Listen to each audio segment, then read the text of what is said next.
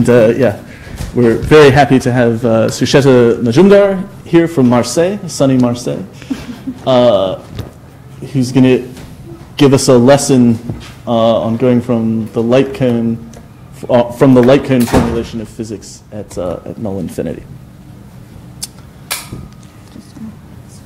Take it away when you're ready.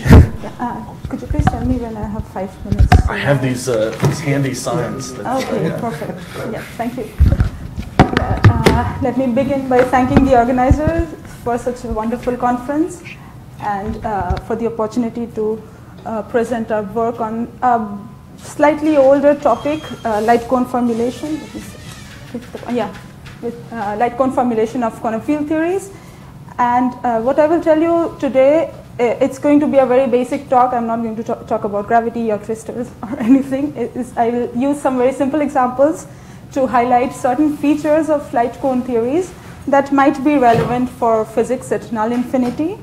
And by physics at null infinity, of course, we, we mean this region of space-time, the asymptotic region, uh, in the broader context of flat space holography. And uh, this morning we had two wonderful talks by Laura and uh, Homa on flat space holography, where they repeatedly tried to emphasize that these are early days, we have lots of challenges to overcome. I will not answer any uh, uh, of those challenges in this talk for sure, but I would uh, like to argue that maybe it, it, it would be interesting to look at a different setup where you have this kind of a situation where two uh, null hypersurfaces intersect in a co-dimension 2 space-like uh, surface, and that is precisely the light cone formulation uh, of quantum field theory. It doesn't have to be gravity necessarily, so this is just for any quantum field theory. And uh, historically, this, this dates back to the work of Dirac uh, from the Forms of Relativistic Dynamics, the, uh, the famous paper, where he argued that there are different choices of time coordinate for, uh, for doing a Hamiltonian analysis uh, for relativistic theories. The usual one is, of course, taking uh, x naught to be the time. Then we have a spatial foliation of our spacetime. But you could also take uh, one of the light cone directions, the x plus, to be uh, the time direction. In that case, you have a null foliation of the spacetime. And also in GR, these uh, two correspond to qualitatively different initial value problems. So this one is the Cauchy problem, and this one would be characteristic initial value problem. And the uh, key point that Dirac wanted to emphasize in this paper is that uh, depending on how you choose your time coordinate, uh, your Poincare algebra might have a uh, slightly different form. For uh, example, in the instant form case, we have a six-dimensional kinematic or stability group for this surface, and the dynamical part is four-dimensional. But if you choose uh, the x plus to be your time direction in the front form, uh, you have a seven, seven-dimensional kinematic group. So the, the, the uh, stability group of this surface is seven-dimensional, and the dynamic, dynamical part of the Poincare algebra is just three-dimensional. And this was uh, quite useful in, in certain cases, for, for instance, to derive uh, interacting actions, uh, interaction vertices in higher spin, st- uh, higher spin theories or supersymmetric theories and so on. So that's one of the reasons why uh, light cone formulation uh, can be interesting or useful. There, there is another important reason which dates back to late 60s, uh, mid 60s, uh, which is that, so this was from the work of Weinberg where uh, he showed that certain Feynman diagrams which are typically badly behaved, they can uh, be simplified and they in, in fact give you finite or zero uh, uh, contributions if when looked at in the infinite momentum frame or in the light cone uh, frame. And, the, uh, and later Susskind showed that this, this simplification comes from, a, from an underlying 3D Galilean invariance in the 4D theory. And a very quick uh, way to see this is just from the on-shell condition. If you write the on-shell condition in light cone coordinates, you see, so x plus is our time. The Hamiltonian p plus has this kind of a form, p squared by 2 uh, p minus, which is very similar to the non-relativistic formula for energy, p squared by 2m. And in fact, in this uh, Galilean group, which I will show you at the end of the talk, uh, this p minus algebra is, uh, appears like a central extension, so like a mass, in fact. Another reason to look at light cone formulation is the following, that if you take uh, a null uh, time coordinate, the gauge constraints uh, often become solvable. So for instance, if you have the Hamiltonian action of a gauge system, with the usual p q dot minus h uh, term. We also have certain gauge constraints which tell us not that not all the degrees of freedom are physical. Uh, in uh, using light cone gauge or light cone coordinates, it's often uh, simpler to solve the constraint and elim eliminate some redundant degrees of freedom. So you can uh, come down to a basis of just the helicity states or physical degrees of freedom and so on. And uh, th these are some of the reasons why the light cone formulation uh, has seen many successes in the, in the past. But uh, as a disclaimer, I would like to remind you that this is a non-covariant formulation, so some expressions are going to be a bit ugly. It's not as nice as a covariant formulation. But uh, what I want to show you is uh, how to approach the topic of asymptotic symmetries or how boundary conditions appear and so on in this light cone uh, framework. And then I'll, I'll tell you about some recent works, depending on how much time I have. Okay, so uh, let me take the example of electromagnetism because it's the simplest one. Here we are trying to fix the, the Maxwell action using the light cone gauge. So we set A minus, A lower minus component to zero. And as a result of that, we find that there, one of the equations, Maxwell's equation, will become a constraint. So this one has no del lower plus, so it's time independent. And you can integrate, this is a second order PDE in x minus, and we can integrate uh, the A minus, uh, uh, we can solve for the A minus uh, component up to some integration constants. Now, uh, there is another equation which is just a trivial equation which will relate these two integration constants. So at the end of the day, there is one arbitrary constant in the game.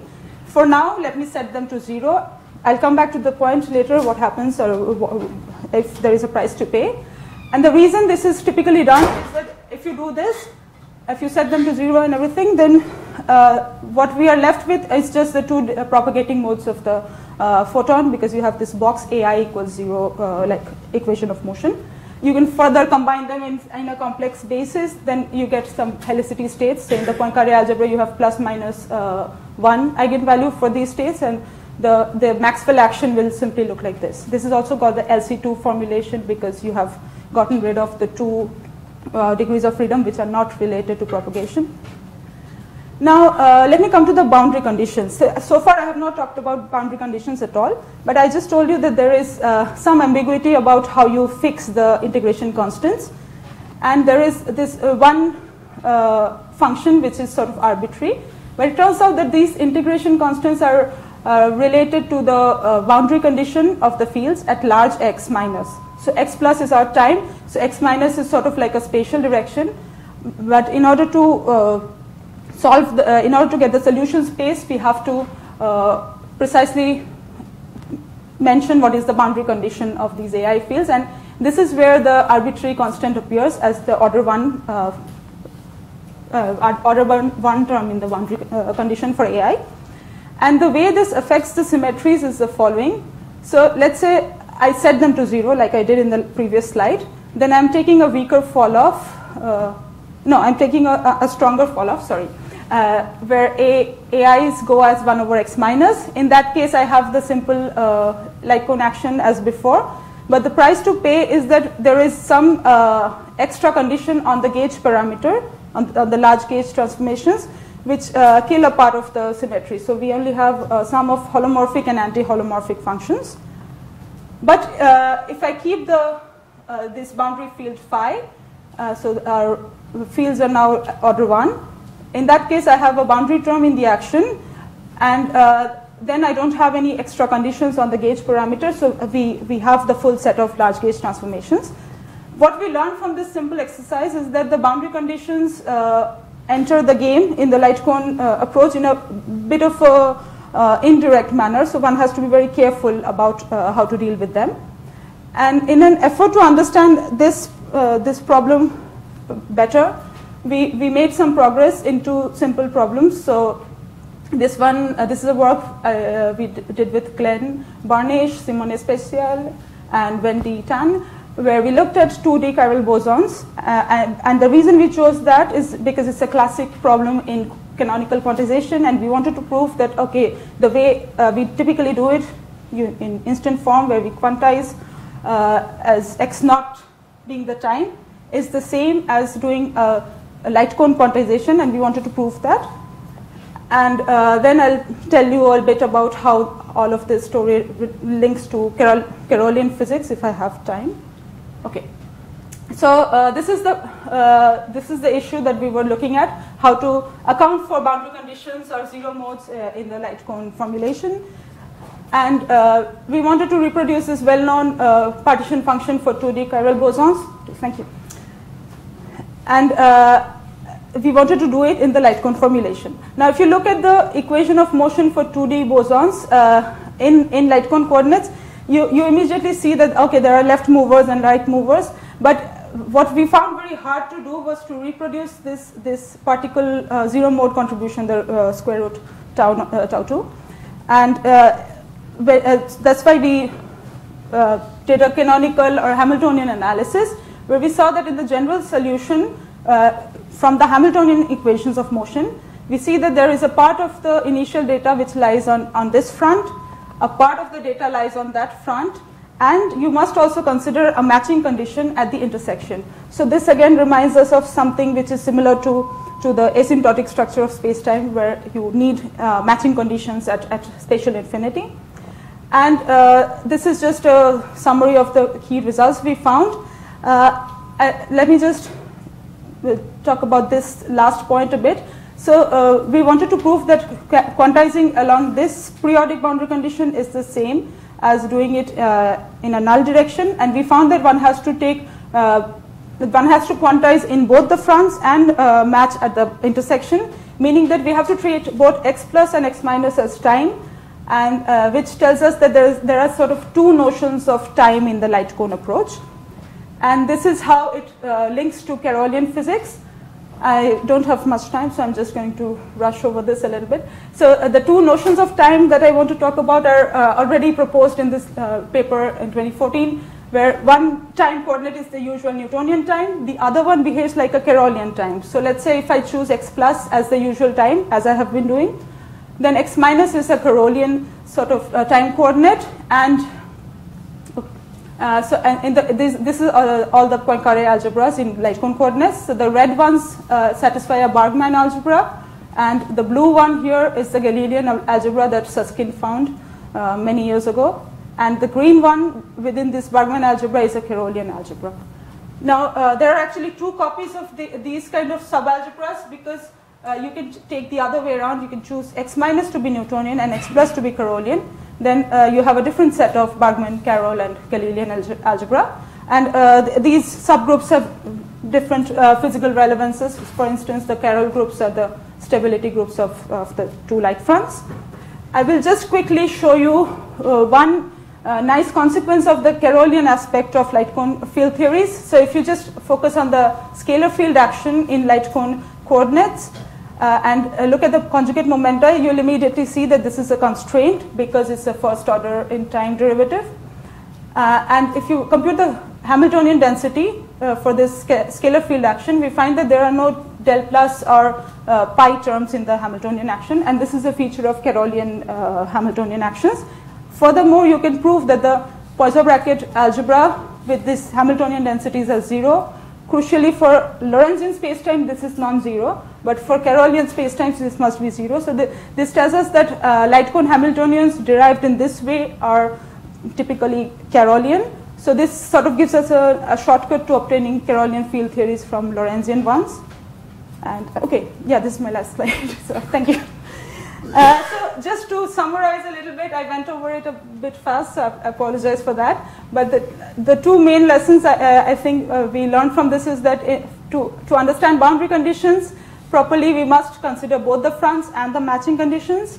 And light cone field theories are nice in the sense that you can, you can see both Galilean and Carrollian features uh, depending on how you look at them. And of course, there is a long to-do list of things to do. For exa uh, example, building a dictionary between light cone symmetries and asymptotic symmetries and so on. There is a recent preprint where they have tried to do this a little bit. The ambitious goal is, of course, to uh, explore flat space holography in this context. There is uh, another recent pre preprint where they, uh, where the authors have tried to explore these ideas.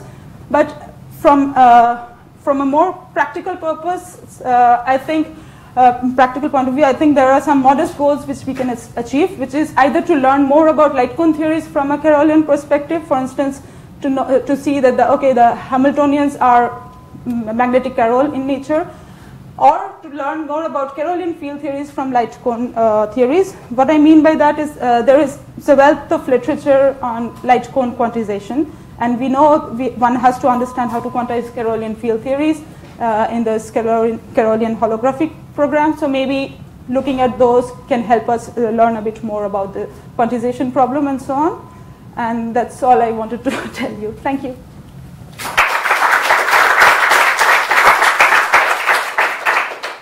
Questions?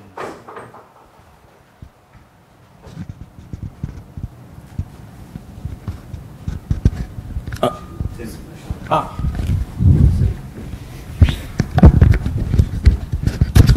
Thanks for the talk. Can you say again what was the um, problem with the zero mode in your scalar uh, example? In the scalar example, uh, okay. So uh, And did you get it in the end? Yes, we, we got it in the end because earlier we were uh, just. Uh, so, okay, I, I skipped a lot of details here. This is just what you get from the uh, Hamiltonian equations of motion. But when you quantize this theory, if I had chosen just x plus to be the time and set up a symplectic form and Poisson bracket, and then we do a canonical quantization, uh, we in the in the partition function expression, we will get either of this uh, eta left. So what happens is if I take one coordinate to be uh, time, then I would either get the left uh, moving sector or the right moving sector, and the other sector is sort of entangled with the zero mode uh, zero mode contribution.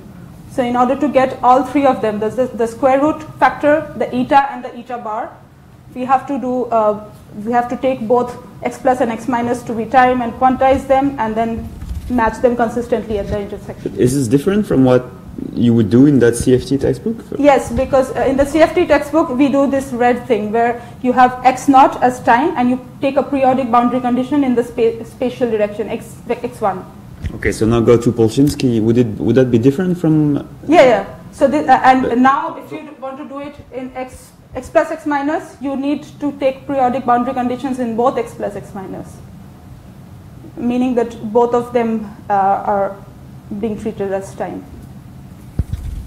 Or you have to I- use Peierls brackets. So Okay, I don't want to monopolize the. But I'll, I'll- yeah, yeah, it, it's a bit uh, counterintuitive. I have to Okay, admit. bottom line is, are you saying something that when you know you teach string theory 101, you should do it differently, or? No, no, no. I'm just saying if I want to uh, do it this way, uh, using just x plus, uh, do you mean light cone quantization in general?